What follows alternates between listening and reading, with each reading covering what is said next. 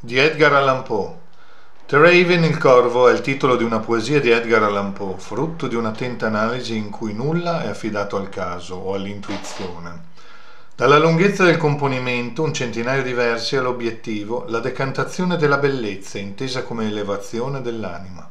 La bellezza in tutte le sue manifestazioni suscita nelle anime più sensibili il pianto, e per questo si esplica mediante l'uso di toni malinconici con un particolare espediente artistico che cattura l'attenzione del lettore, il refrain, un ritornello che nel corvo non segue le regole tradizionali di identità di pensiero e suono della poesia lirica. Piuttosto si individua una sonorità in grado di creare effetti diversi in relazione al testo che la precede.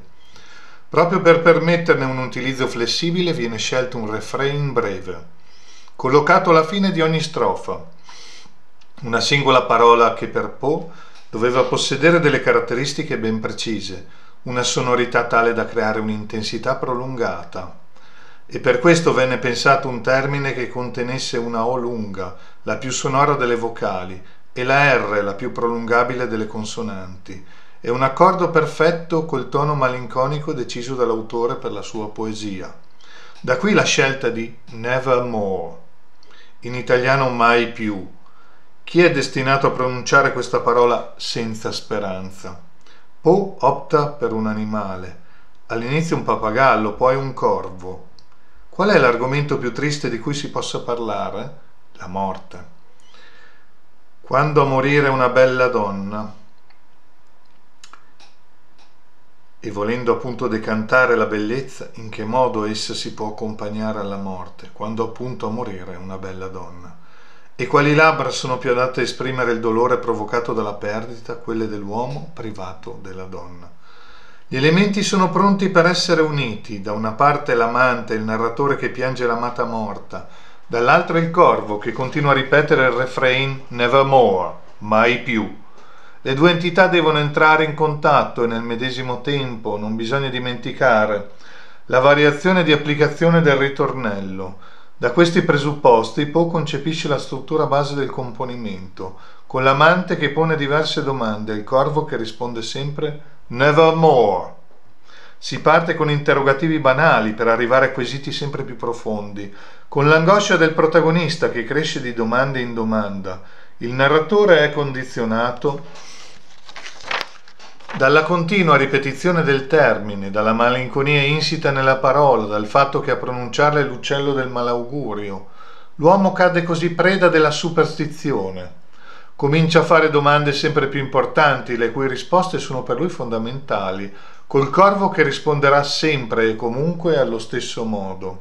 Ma l'amante sa che l'uccello sta ripetendo meccanicamente qualcosa che gli è stato probabilmente insegnato Tuttavia continua a porre quesiti poiché prova un folle piacere nel formare le sue domande, in modo da avere dall'atteso Nevermore quel dolore che è il più prezioso e delizioso perché è il più intollerabile.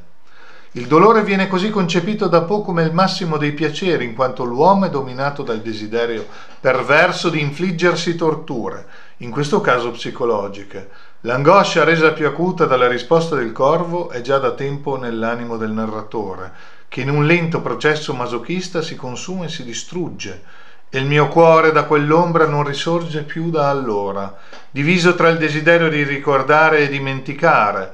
Non è crudele il corvo che ripete nevermore, mai più, è l'uomo che diventa contemporaneamente carnefice e vittima di se stesso nel suo continuo e impellente bisogno di interrogare l'uccello fino alla discesa irreversibile nella pazzia.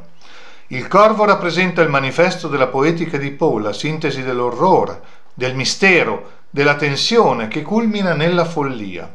Nei precedenti racconti Il gatto nero il cuore rivelatore, i narratori dovevano fare i conti col senso di colpa per aver ucciso qualcuno.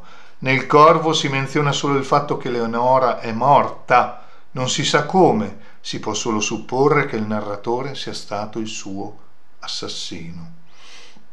Certo è che il ricordo della donna lo perseguita e lo spaventa. Il senso di colpa provato dai personaggi di Poe non è mai di natura morale, nessuno di loro si sente colpevole per aver commesso un'azione malvagia e lo scrittore non ha mai come fine ultimo nelle sue opere l'insegnamento. dal momento che considera la didattica la peggiore delle eresie. Per Poe il senso di colpa corrisponde al perverso desiderio di autodistruzione, di cui anche il protagonista del Corvo è vittima, un processo sinistro, inspiegabile e definitivo, che si tinge di quei toni macabri che accompagnarono in seguito il simbolismo e il decadentismo.